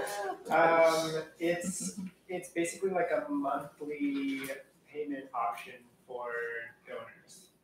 Um, uh, you can sign up to support me or my community, and it'll just automatically pull out of your bank account um, monthly payment you choose to sign up for. It. So, so if you sign up for it as an artist, is it kind of like one of these other like platforms where is it the kind of thing that you would use to reach out to someone you have a relationship with to say like, hey, if you want to support my work, you can do it easily through this Patreon program, or is it also the type type of thing where like uh, people who don't have a relationship with you but are interested in the work you're doing might find you through that through that app and also support you through that? I think there's a little bit of both. Um, I think that there is a community in Patreon, and people often will go and see what the top donors are and where the top people are on Patreon, and think, oh, maybe I'll support them too. So that community definitely exists for supporting people that you don't know.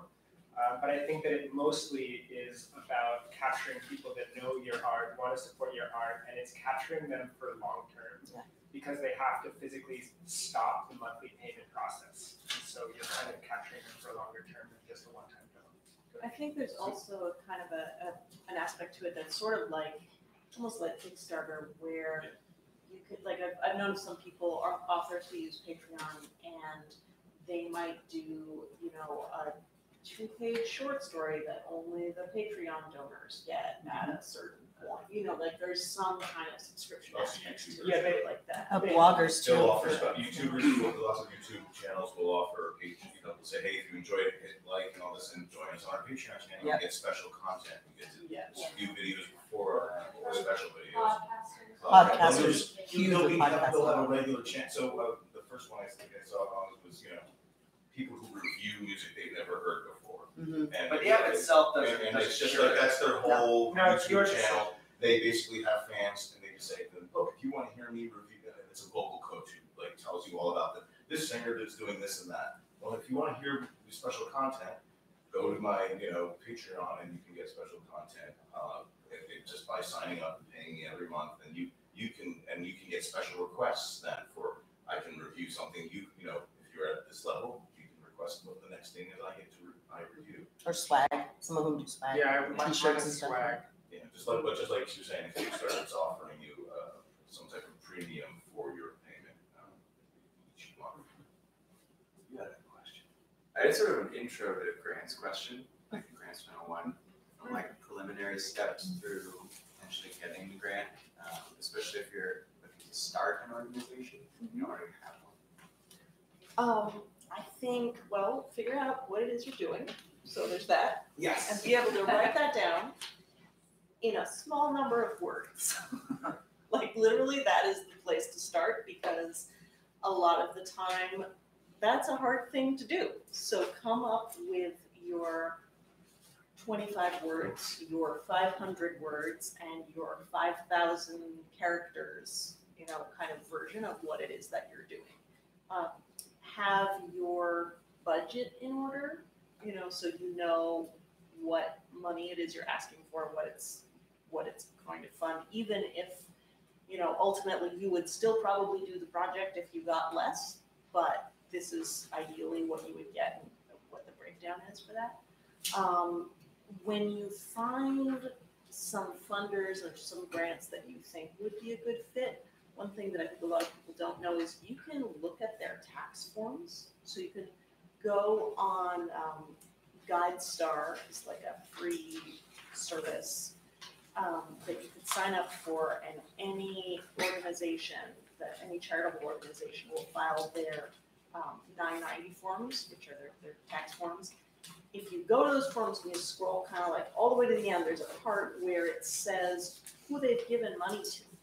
And that can be really, really useful because if you, you know, especially for things like family foundations where you might find the opportunity, but you really have no idea if you're a good fit.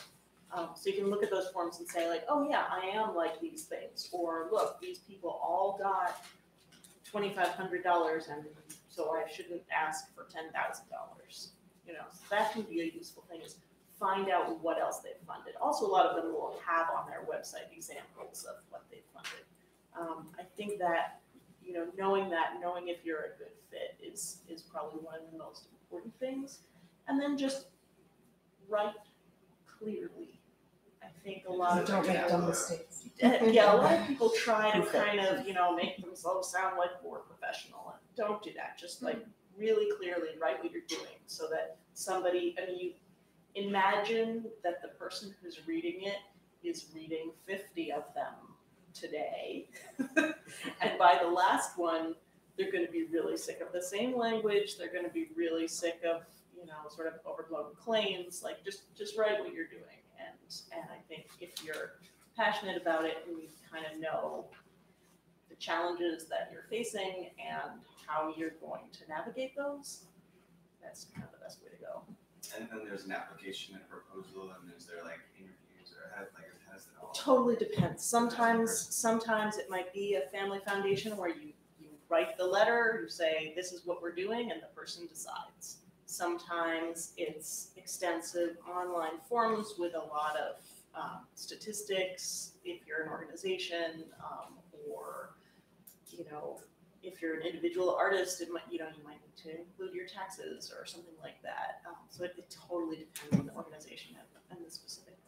And sometimes they will do, if you're lucky, they will do site visits or Yeah. interviews, you know, it's one of the things, that Vermont Arts Council is awesome about that. It- That's a great thing, when you're able to talk in person.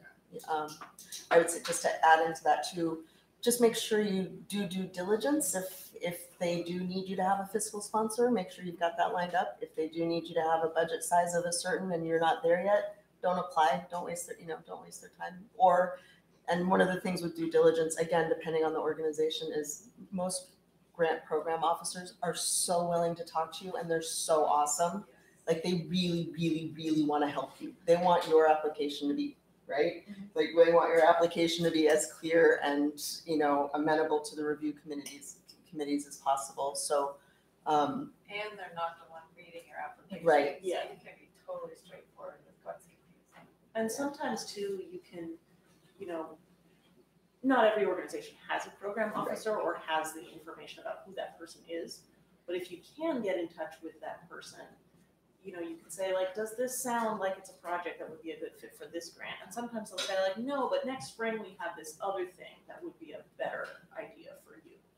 Um, Also, try to remember that it will come back around.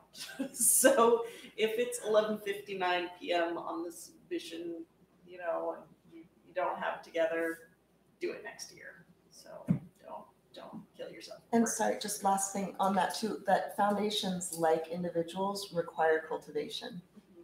They really do, that, you know, just dropping a grant in and that's like, you, you do have to keep them updated. You do have to make sure they know the work that you're doing, you know, that it, it's not a one and done deal ever with a foundation, in my experience. And then make sure that you have, if there's a report that's due at the end, because a lot of them have a report that's due at the end, make sure you actually do it. Yeah. Sometimes it's very simple, but a lot of the times, especially smaller organizations, especially if there's a lot of turnover, that just falls by the wayside, and then you apply the next year and they say, wait a minute, we never heard what happened to that other money. So, Yeah. and if there's a change, if for some reason, you know, you're halfway through your year and they've granted you the money and you can't do the project, or you have to Tell them. make a big change to the project, you tell them. That's important. I- The Arts Council is gonna have some grant seeker workshops if you're interested in any of the Arts Council's um, funding. And those will be in um, February and March. And uh, we'll hopefully have one of those in a webinar that you can just watch from wherever, whenever as well. And I would say that, you know, just read very carefully through all of the guidelines. And a lot of them, like the Arts Council has tip sheets and suggestions for a stronger application and really um, look closely through all of those materials and um, build relationships with people. Feel free to call the, because they're not going to be reviewing themselves, and so you know ethically help you as much as um, as possible. And they sometimes can help you in the, in the review, I've had this happen when I've been on a review panel, when I'm like, "Oh, I, I'm not seeing this in the application. And the person, you know, the program officer's like, I know that they do that, by the way, you know, so that it's good to have that advocate too. You had your hand up earlier. I'll, I, well, I'll, I'll say quickly, the Vermont Community Foundation, if you go to their website, they offer different categories of support, but they also provide free access to a foundation's directory that is searchable by keyword. And it's, it's really the key to kingdom for discovering support out there. Um, So don't lose track of that because that's, that's a real, uh, a real supportive resource that they make available. I think it's vermontseattle.org. Um, You might have to peek around the site to find it, but it's a foundation's directory. Um, And just, I had my, I- you had a hand up, why don't you go right ahead? Uh, so I heard a couple things we were talking about when, um, Amanda, when you were talking about like, you know, explaining like what kind of piece of music you would be, um, really getting into like how the sausage is made, the things you said. Uh, but then also I'm hearing be very clear and concise about what you're doing. Yeah. Uh, can you tell me like the balance there and Yeah, I think it all comes together. It is, if you're able to clearly and concisely tell your story in a passionate way, right? Because that's ultimately what those, what those things are about, is demonstrating the value and the impact that you're creating in the world. Impact is really key. Like really giving the grant review panel uh, understanding of what your impact, the impact of whatever it is you're um, proposing is going to be. Um, and being very specific, saying this is great, isn't really telling people anything. And then if you have a word count, you know, you don't want to waste it on this is great. Like they want to know what's great, you know, or what, how is it great? And giving specifics. And also not assuming that people understand what you're talking about is another thing. Like just making sure that you don't make assumptions that people are imagining what you're imagining. I think that that with the, um, the grant review that I've been a part of, um, is often one of the things where people just, um, miss an opportunity. But listen, this isn't just about grants. I just, I want to keep saying that. That's also about how you communicate with your individual, with your potential individual supporters. And that can be your mom. That, you know, um, wouldn't be my mom, but it could be somebody's mom. Um, but, or a business or, so when I was talking about, that's just a, that, that idea of sort of being able to that exercise of you know what piece of music am i is just another way of articulating what you're doing in the world right and then you can kind of pull the thread and and help and creating your case is one of the most important things that you can do whether you're applying for a grant or sitting down with a donor and i would say the other most important thing you can do is if you're writing something getting someone else's eyes on it not just for proofing, but also for clarity of storytelling. And if you're going to meet with someone, whether it's a business or an individual or a foundation, rehearse. I mean, like, do sit down with someone else and say, this is what I'm going to say, and then say it out loud so that when you're in the room, you're very, you're clear with the impact that you're doing and you feel comfortable and you're not, you know, sweating. um, because ultimately, they, they really, these, this is um, it's an opportunity to share what you do and looking at it that way instead of as this okay i have to impress i have to audition i have to whatever that is but here's this gift that i have of 15 minutes of your time where i get to tell you about the, the impact i'm making in the world community foundation does something fun, at least some of their applications, at the very end, last question is, tell us a story. Yeah, And it's just yeah. so sweet because you just get to change your channel entirely. You just get to, you know, bring something totally personal that shows your values and bring it into the conversation with the funder. and listen that's what i do that's 90% of what i do with organizations that i'm working with is is figure out how we're communicating so that we're igniting the fire in someone else and it's just so key Yeah, I had a question from someone who couldn't be here tonight. Um, they, well, just couldn't make reasons. Uh, so he, he received a nomination for a fellowship that he had never heard of before, but something called United States Artists, which sounds so generic that he was swore it must be some, something non-legit, but they look legit. So have you- any of you guys ever heard of something called United States Artists Fellowship? No. No, but I mean, dig dig around. That's cool. as long as he doesn't have to give money to them. Yeah, Yeah, he just has to, well, he has apply, he still has to fill out an application, but apparently you you have to be invited to. uh, To apply. That's probably why we haven't heard about it. Um, I'm thinking a lot about fundraising as an event and all the effort that it can be to create a program or an experience to gain money. And why not just add it to a performance or a gallery exhibit, um, or a lecture that you're already giving? Maybe it's a silent auction that can bring in four to six hundred dollars. Maybe it's you sell a T-shirt and then your logo's out in the community. Maybe it's concessions and you get donations. So just thinking of your events that you're already really working hard on to get the word out, to add just like a little thing that might bring in somebody that could really help with some expense that you would have to pay for otherwise. Versus planning a huge fundraising event Yeah, and no more only ten people come. No more auctions. Yeah. so. And, and they also don't, I don't know what your experience is of other places, but for sure, when I was in Minnesota, you know, we did a big gala thing and like people spend lots of money and fancy dresses and heels and whatever, and it's at nighttime. And here that does not work because people want to be like in bed by eight. It just doesn't. Dark and It's snowy. like, it's not, the gala thing doesn't seem to be a thing here, so.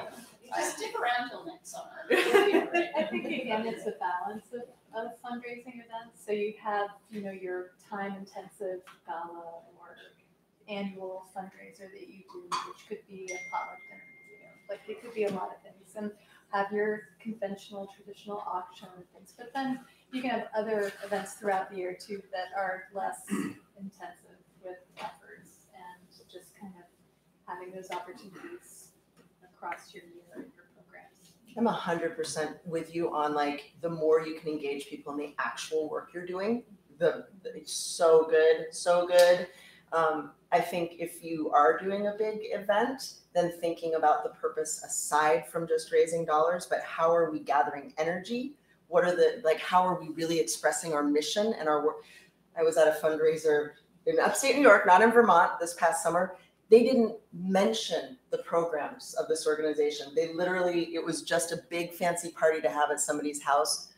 It doesn't do any good for the organization or the individual artists on the long term basis because you're not saying, you know, it, this is your opportunity. If you gather people together, share your story for the love of God, you know. Um, so to, to be really clear with your, if you've got a committee or sometimes boards really like it because they see it as like, um, friend cultivation, which I, I get. Um, my thing is like, well, then don't charge for it. like, let's have a party. I'm happy to throw a party because I really believe that if you if you if you want to cultivate that kind of energy, that's great. But then you have to follow up, and the follow through almost invariably never happens because people just get so slammed. So think really, really strongly about why you're doing any event, whether it's a potluck dinner or a, a sing along Christmas carols or a big gala auction thing. Think about the purpose of it and then the time investment that you're making because you may like some grants where you're like, my God, that's 500 pages for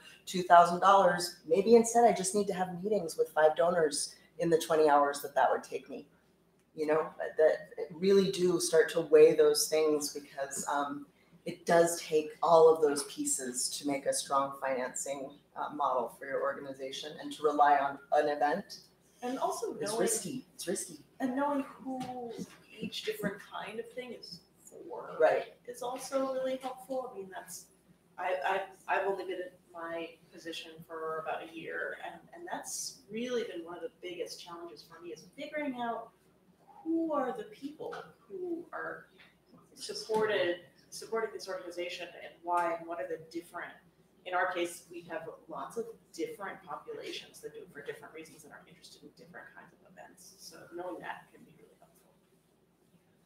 Does anyone know any examples of um historical societies partnering with, well, we're working on theater piece, but for anything, you know, with in examples of what they're looking for, just wondering? Are you you're looking for uh, sorry a historical society to do a theater piece with?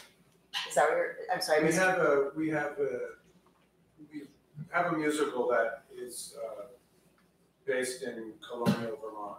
Oh, cool. And so there's a lot of uh, like real local stuff woven in. Cool. And um, so we applied last year for some grants partnering, uh, much like your organization does, uh, with uh, the Vergennes Historic Society. Oh, yeah. Because it, bunch of the production is centered in in Vergennes. So. uh, I attended a, a New England Museum conference that was held in Burlington recently. And one of the most interesting conversations I had was with somebody from a museum in Boston, I think.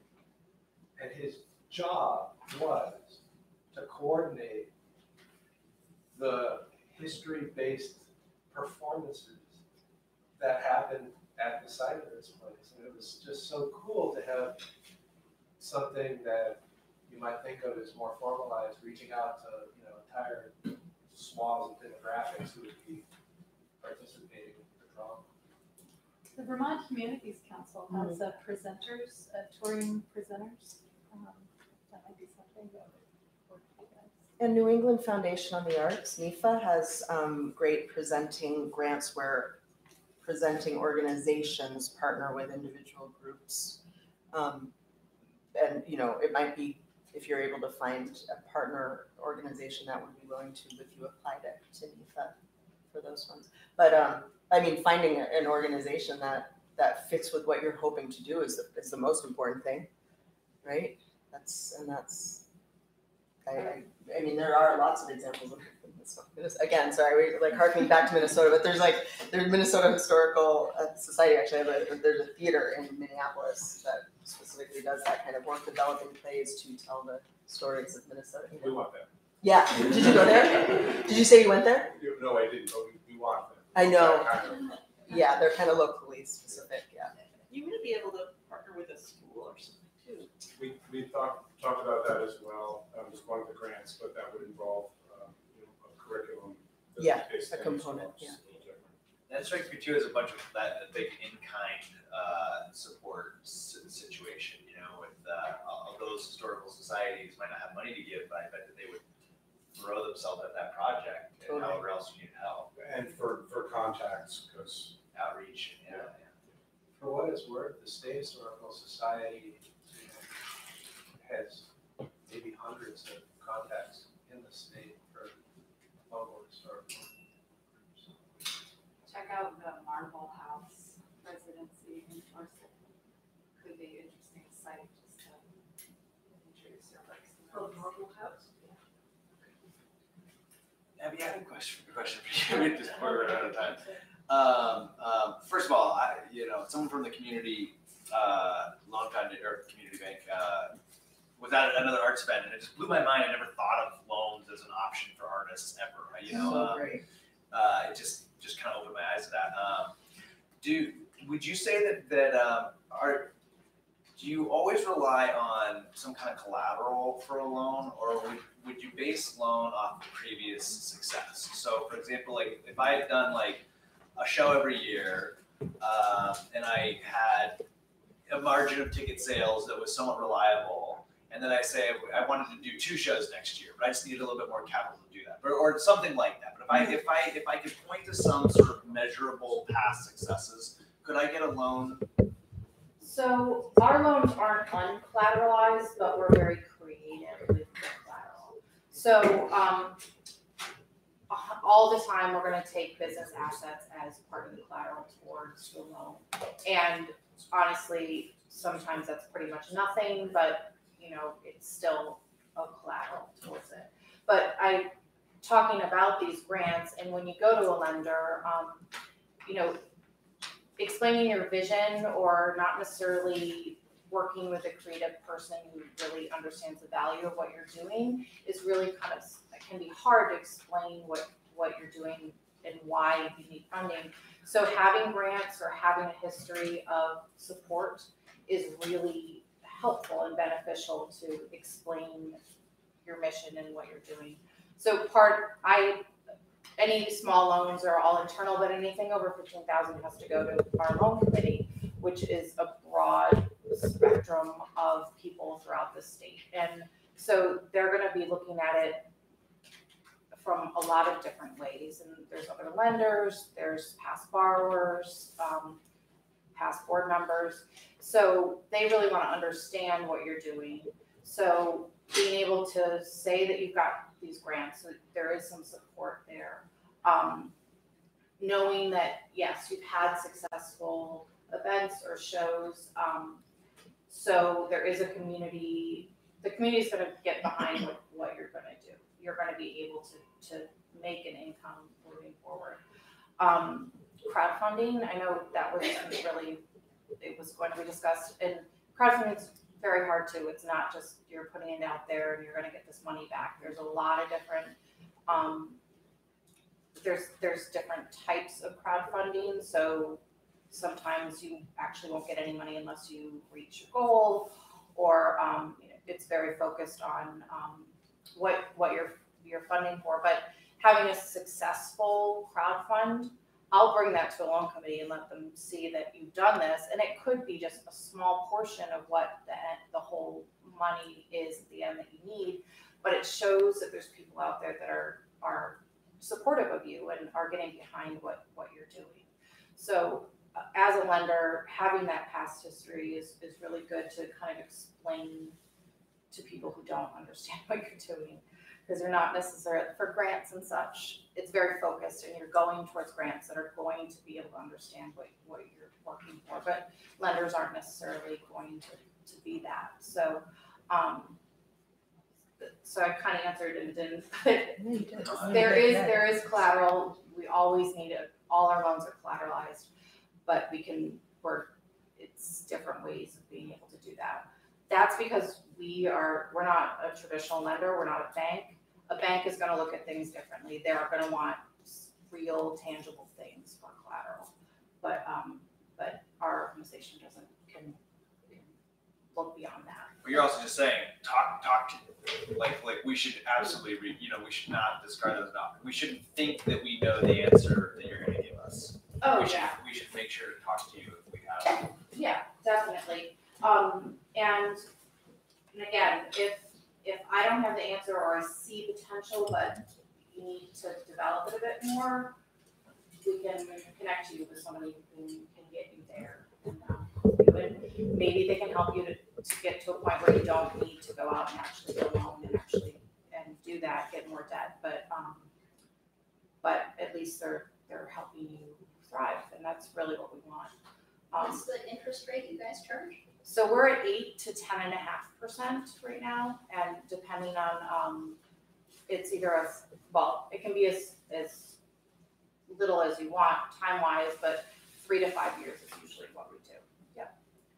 And do you, do you loan outside of Vermont or is it only Nope, Vermont? only Vermont businesses. And your, your cap is a hundred thousand. Our cap is a hundred, but that's a very hard number to get to. As I said, our, our average is, is twenty-five thousand, so, um, that's kind of, twenty-five to forty is, is a good number for us. Oh, one last question. Um, well, I wanted to share um, a platform called shareyourself.org, which is pretty new, and uh, they're getting little smaller grants, but people make this change. So um, it's about doing good in the world, and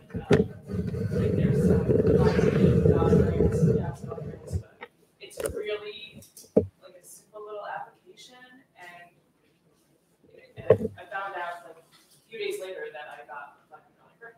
Nice. And uh, it was just amazing. And it's really about getting people on your tribe, creating a tribe, working together. Um, it's pretty cool. So it's uh, shareyourself.org. If Anyone knows Stu McGowan, it's his new venture, Stu's a long Oh, so it's a local, that's a local. Yeah, yeah, it's for, yeah, and they're starting in front of the artist that was. She was the first one to get the grant. Get it right, Jenny, yeah. Um, I also was just wondering about donors and where do you find them? Like, do you have three more hours? Well, I guess it depends on what your, what is your art, what are you doing? What are you creating? What's your? It's a community um, arts organization. So you all s- art forms and people experience. You have a venue. You have a venue, so you start with the people that you're, that are, that are being impacted immediately by you. Who participates in your programs, who comes to your events, who start talking to them first. That's where you find your donors, is in your family of people who participate. Does that help? Uh, I, I don't know, if- they don't have that much. I know it doesn't matter, I it doesn't matter. I mean, honestly, it doesn't, Uh, you know, and like I said before, money is just a piece of it, it could be time, talent, they could also be like, you know, I don't, but, but let's have a conversation, because you know what, my brother-in-law's a lawyer, and he really wants to, you know what I mean, like, you just don't know until you start talking to people. And look, I just wanna say this too, these kinds of conversations and, and building a family, and it, it does, it takes time.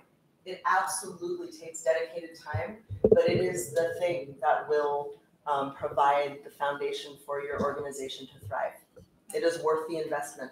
Building those relationships, Mhm. cultivating your donors and turning your friends into more of a family. And board members too, and volunteers and inspiring them. If they're inspired, they're gonna wanna you know, bring other people in and find more resources for you so that um, it can happen. Yeah. But there's no, yeah, there's no silver bullet, unfortunately. There's no what? There's no silver bullet, you know, there's no, yeah, it's, it's. Thank you so much. And one last thank you to our sponsors, Burlington City Arts, Community Capital of Vermont, Hark Digital, Main Street Performing Arts Center, and the Radiator. Thank you guys so much. Thank you all for coming, braving the weather. Safe drives home, or join us if you drink some whiskey before you drive. That's right. Hey, guys,